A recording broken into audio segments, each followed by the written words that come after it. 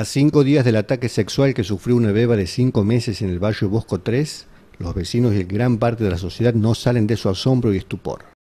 Pese a la gravedad del hecho, la beba se recupera en forma favorable y los médicos confían en que la evolución continuará. Luego del aberrante episodio, la mayor preocupación se centra en las secuelas que podría tener la víctima en relación a su corta edad.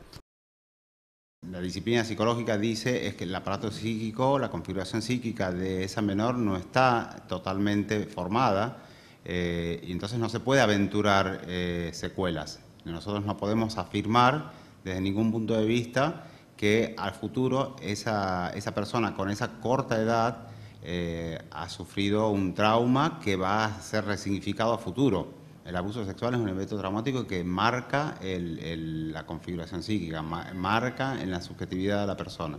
En el caso este que eh, la, bebé es tan menor de edad, donde no tiene formada todavía su estructura psíquica, eh, es muy difícil de, poder afirmar de que vaya a tener ese, recuerdo, seguro que no, y secuelas eh, probablemente no. Va a depender mucho del cuidado, de la atención, de lo que pase de aquí en ahora con la menor digamos, la, la contención eh, y el cuidado de las figuras representativas de los padres, eh, los maestros, los, primeros vínculos que la niña desarrolla en la escuela, que tenga una, vida normal de, escolaridad, de vínculos con amigos eh, y sobre todo la contención familiar, sobre todo ambos padres.